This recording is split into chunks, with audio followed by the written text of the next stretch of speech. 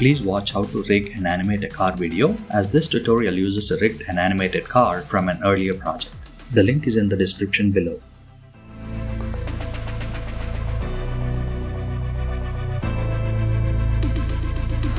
So let's take this uh, data. So this animation is for uh, 5 seconds, so 120 frames at 24 FPS.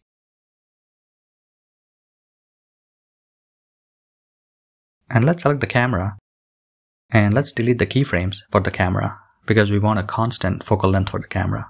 Cool. That's sort of the look that we are interested in.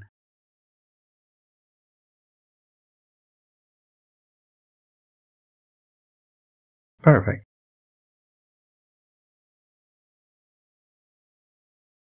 Now, let's change the frame rate to 240 and therefore the end frames to 1200. But wait, why do we need 240 FPS? It's because we need slow motion. If we run MantaFlow simulation at 24 FPS, it just looks blocky and discontinuous.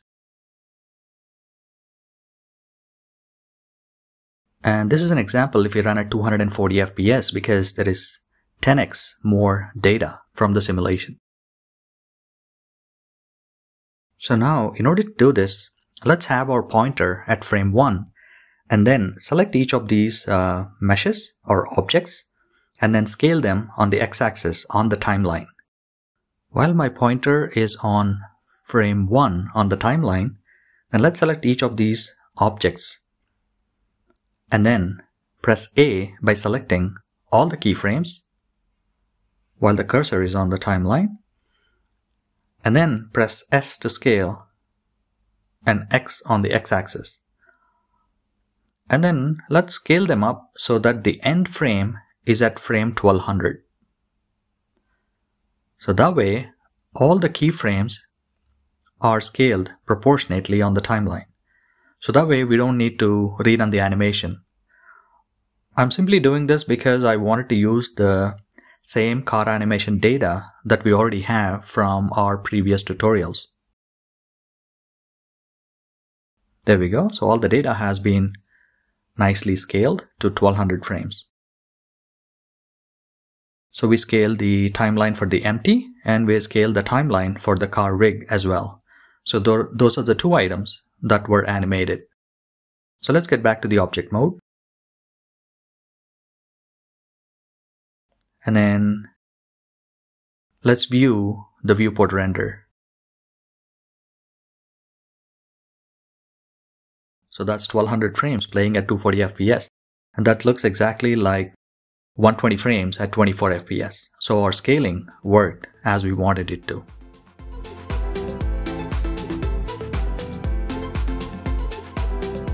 During a drift, the smoke source is going to be the tire, but the tire uh, has a dense mesh. So let's create a proxy mesh to use as a source. So for that, let's change the origin of wheel to its own geometry and then let's add in a cylinder with uh, 32 faces. And then let's scale it down and then snap it to the wheel's origin. We can do that by pressing Shift S and then selection to active. And let's get into edit mode and delete the faces on either side of the cylinder so that we're left with the faces in the periphery. And then let's scale it down so that the proxy mesh is just a bit larger than the wheel and that it's slightly below the ground plane as well because we're going to use it later during uh, the dynamic paint.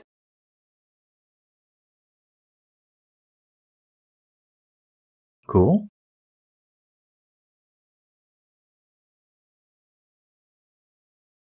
Now let's parent the proxy mesh to the wheel because we want it to move with the wheel.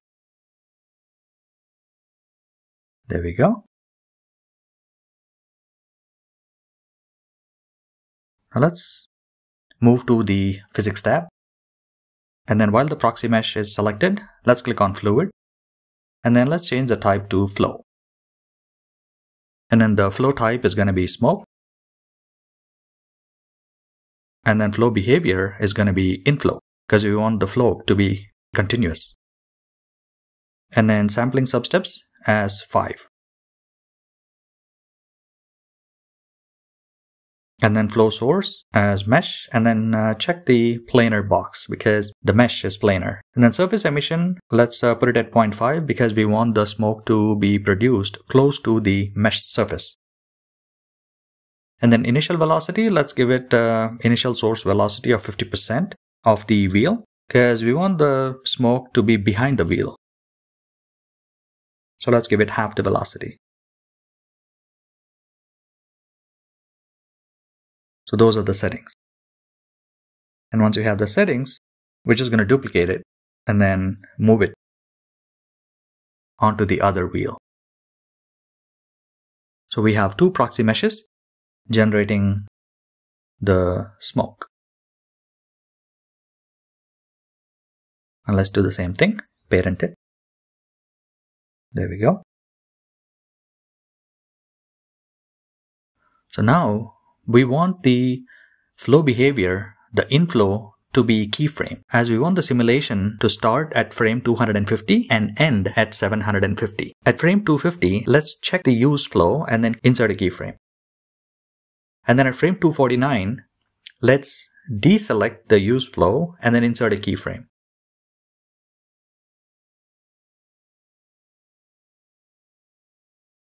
And then at frame 750, Let's deselect the use flow and then insert a keyframe. So effectively what we're doing is all the frames before 250, the smoke is not generated. And between 250 to 750 frames, the smoke source is on.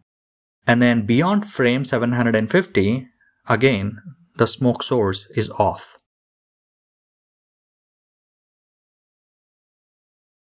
So that way we have the drift smoke only during the part of the drift which is between 250 and 750 frames. And then let's uh, repeat the same process for the other proxy mesh as well.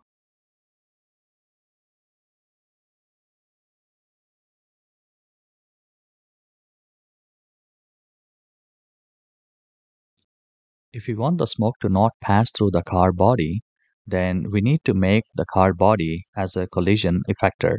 The way we do it is by selecting the car body and then in the uh, physics properties tab, click on fluid and then select the type as effector. There is a solidify modifier uh, to the car body.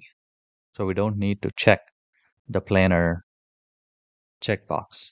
This would definitely add uh, additional simulation time.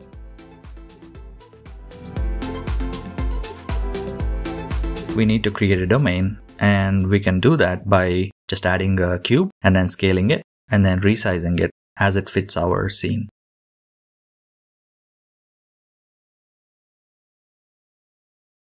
And then to this, let's add a fluid in the physics properties and change the type to domain and then domain type as gas. And the resolution divisions, I'm going to use 1024. I'm not going to worry too much about the high resolution division because I'm going to use adaptive domain. And I just scale the domain to that particular size because I don't want the domain to extend beyond what it's necessary for the simulation.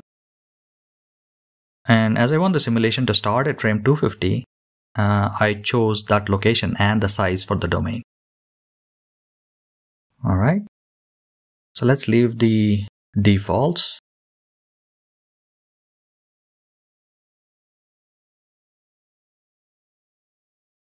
And then let's check the adaptive domain checkbox.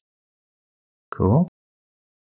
And then under gas, let's change the buoyancy density and the heat to zero because we don't want the drift smoke to rise fast.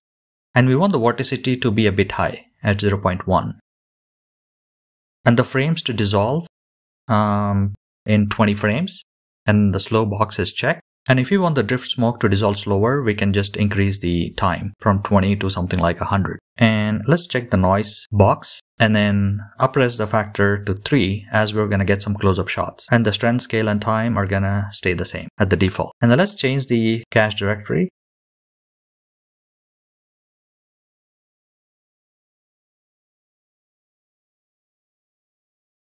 And then frame start is going to be 1 and then end is going to be 1200. And then we change the type to all and then we're going to have is resumable and format I'd prefer Unicache. And then hit bake all. Now let's uh, press escape and cancel the bake in the middle just to ensure that everything is working properly.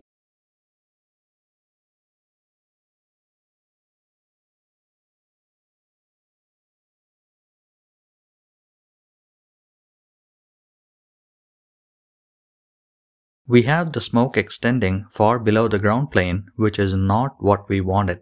So let's move the domain a bit upwards on the z-axis but ensuring that the domain extends just slightly below the ground plane.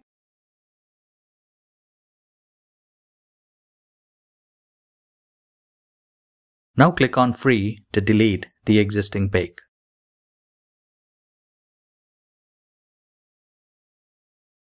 And then hit Bake All.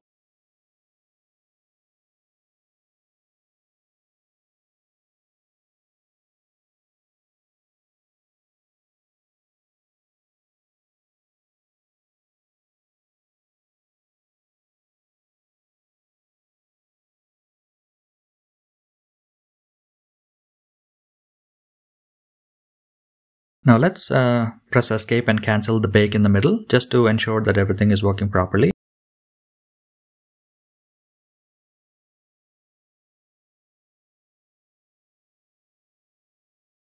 And that's how the adaptive domain works.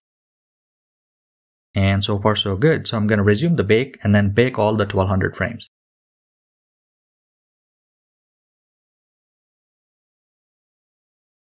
Alright, all 1200 frames have been baked. Now let's scrub through the timeline, take a look at some of the important frames to see how the smoke looks.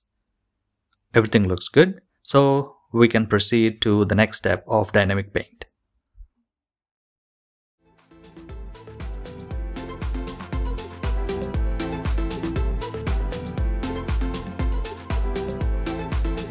In order to get the skid marks, let's try and use uh, dynamic paint.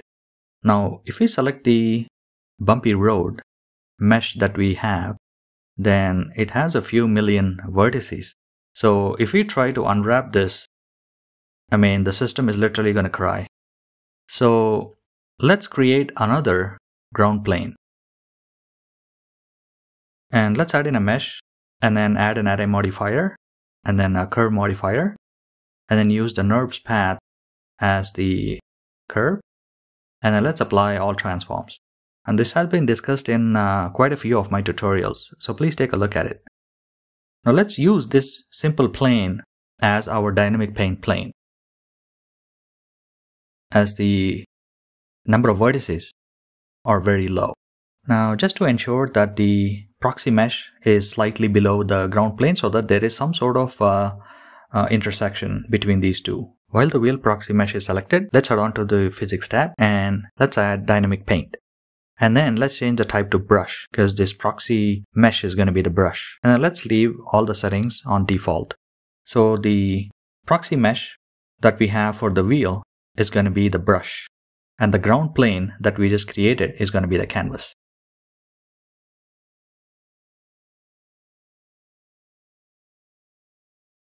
And for the dynamic paint plane that we just created, uh, the modifiers have to be applied. So let's apply those modifiers. And now let's jump into edit mode. Cool. So we just have very few. And instead of 1.5 million vertices, we only have 50. So now it's easier to unwrap. So select all of the vertices and then hit unwrap. So now this uh, mesh is neatly unwrapped. All right, let's uh, go to the UV editor. But as we can see, all of the vertices have been unwrapped one on top of the other. And that's not how we want it. So let's select all the vertices by selecting A and then hit unwrap. So that way, the mesh neatly unwraps onto the UV map. Now we're going to use this UV map to create our skid marks using dynamic paint. So that's the UV map that we're going to use.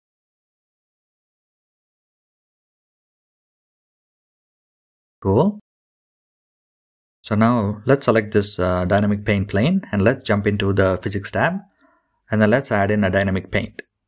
And then the type is going to be canvas.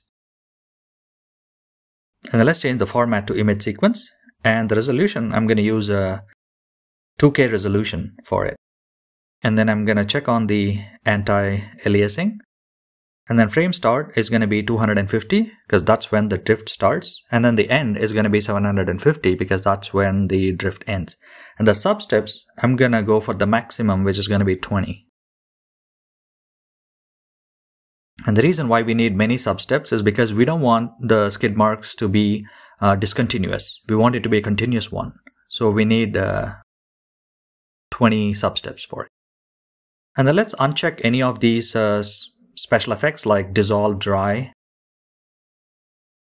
And then let's jump directly to the cache path. And then let's rename it to something we can recognize.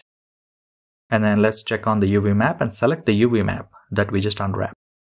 And then the file format is going to be PNG and the pre-multiply alpha is checked. And then let's check on the paint maps. So those are the settings for the canvas. Cool. So the proxy mesh for the wheel is going to be the brush. The, both the rear wheels are going to be the brush and this is going to be the canvas. So let's bake the image sequence. So now the image sequence is baked onto the uh, UV map.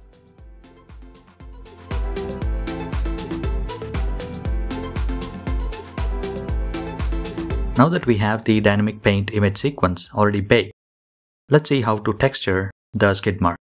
Let's split the screen and then change the editor type to shader editor. And then let's add in a new material. So that adds this uh, principled BSDF as the default. To this, let's add uh, image texture. So the image textures we're going to use is from ambientcg.com.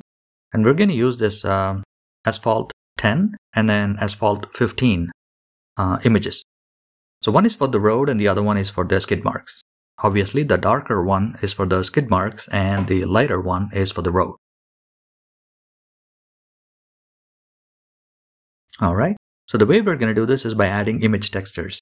So let's add an image texture node.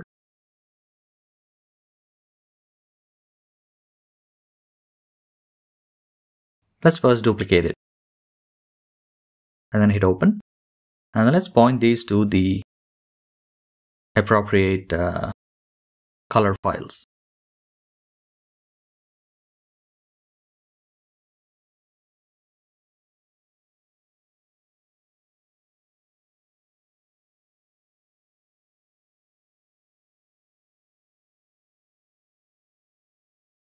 And then let's rename these nodes for our reference.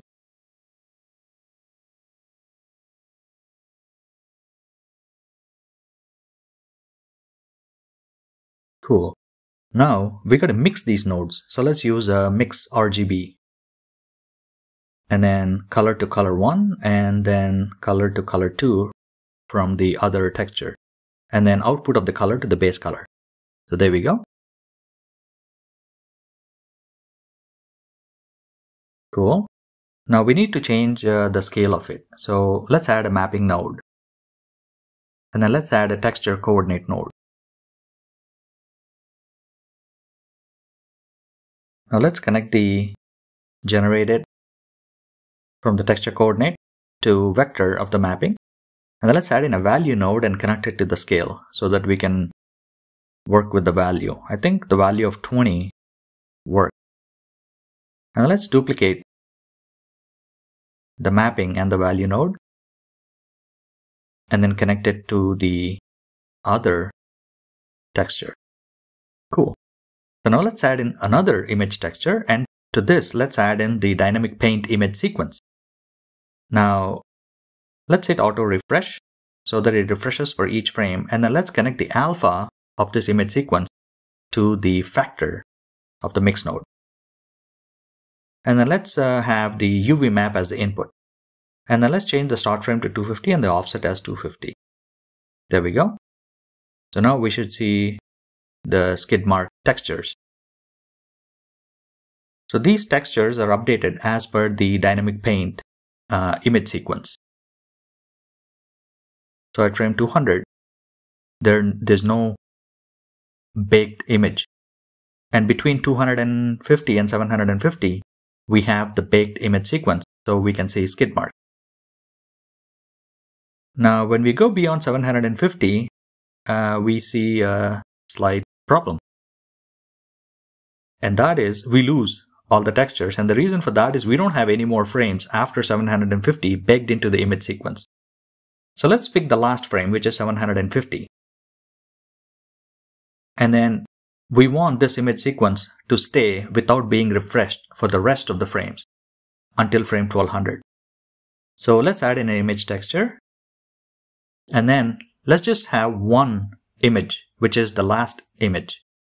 And then let's connect the UV to vector and then output to the factor, which is the alpha to the factor. So that way, for every other frame from 750, we're just going to have the same texture. So that way we don't lose the skid marks that were already created.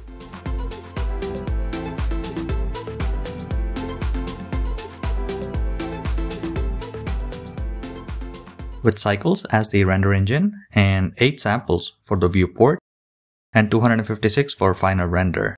Let's head on to the render preview And as we can see, there's no background light. So let's head on to the world tab and then under color, let's add a sky texture. And in this, let's change the strength to 0.2. And that's the lighting that we are interested in. Under render properties, let's check this transparent box. So now our background is transparent. We still have the lighting, but the background is transparent. Let's uncheck the camera to view. And let's move this camera to the position that we are interested in. Since we've been working with this uh, file for all our tutorials, the camera position must have been changed at some point. That looks good. And then let's switch on the denoise for the viewport. And then I'm going to select albedo normal as the denoise passes. All right.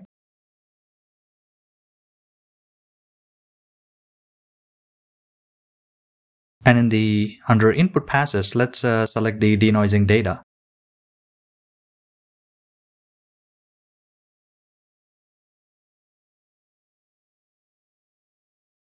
And let's head on to the compositor editor.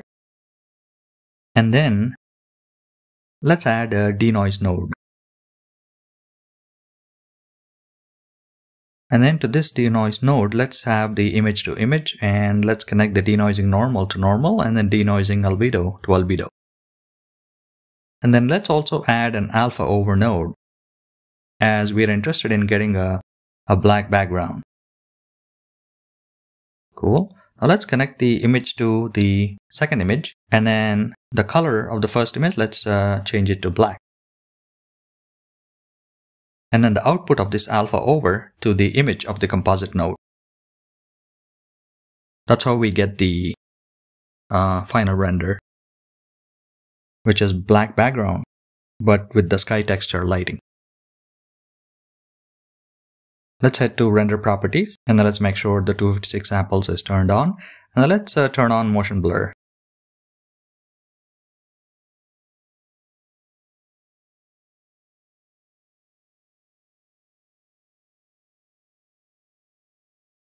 For the smoke, now let's get to the shading for the smoke. So I'm going to go with the uh, Khaos Fire Shader.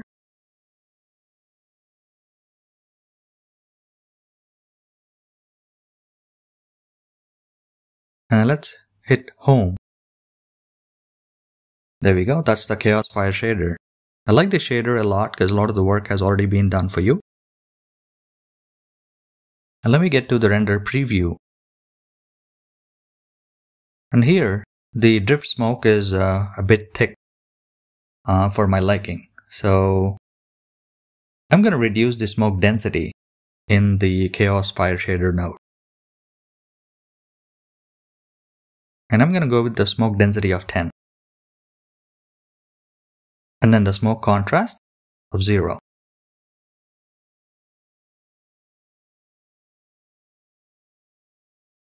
And the smoke color, I want it to be much whiter because typically most of the drift smokes are white in color. Cool. So that's sort of the look that uh, we wanted.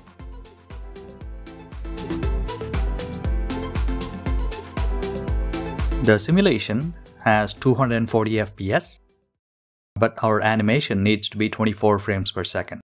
So for this, uh, let's take every 10th frame of the simulation for rendering. And also, since we also need uh, slow motion, uh, let's divide this into four distinct sequences. So the first sequence is going to be frame 1 to frame 400 at a step of 10 in the frame range. And sequence 2 is going to be frame 401 to 500 at step 1 as we want uh, the footage to slow down by 10x here. And then sequence 3 uh, is going to be frame 501 to 750 at a step 10. And here the dynamic paint uh, will refresh at every frame. And then the fourth sequence is going to be frame 751 to frame 1200 at step 10. Here the dynamic paint will be uh, of a static image of frame 750. Sequence 1 is going to be at a normal speed at 24 fps and sequence 2 will be slow motion when rendered at 24 FPS. And then sequence 3 is also going to be at normal speed and sequence 4 is also going to be at normal speed. So we render the animation as PNG images for each sequence and then use the Blender video sequence editor to render the entire footage. So I'm going to render out these four sequences, which is frame 1 to 400 every 10th frame, frame 401 to 500 every frame, and then frame 501 to 750 every 10th frame and frame 751 to frame 1200 every 10th frame. And all four sequences are rendered at 240 FPS as the MantaFlow simulation has data at 240 FPS. The 24 FPS rendering is only in the Blender video sequence editor to render the entire footage. So let's jump into the video sequence editor of Blender and then let's uh, add an image sequence. I'm going to choose the main shot. And then I'm going to press A to select all of them. And then at 24 FPS, 210 is the end frame. So since every 10th frame of 240 FPS is rendered, it appears at a normal speed. And then since every frame at 240 FPS has been rendered between 400 and 500, uh, the footage has been slowed down for those uh, 4 seconds. That's how we get this beautiful slow motion. And then we're going to have the file format as FFmpeg video and then encoding with the video codec H264 and perceptually lossless. And then there's no audio in this. I'm going to mix audio later. So those are the settings that I used. So if we are to cut and move any of the um, uh, parts of the sequence, uh, we just use a shortcut K or split, and then we can just move the strips around.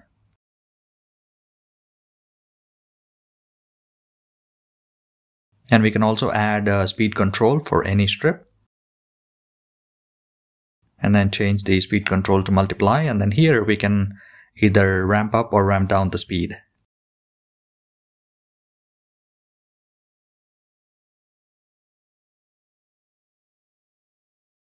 There we go.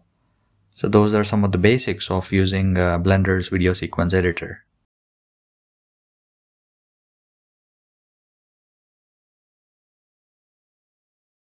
So let's get back to where we were. And then I'm going to render this animation. And then that's how we get this uh, nice shot that was shown in my animation trailer.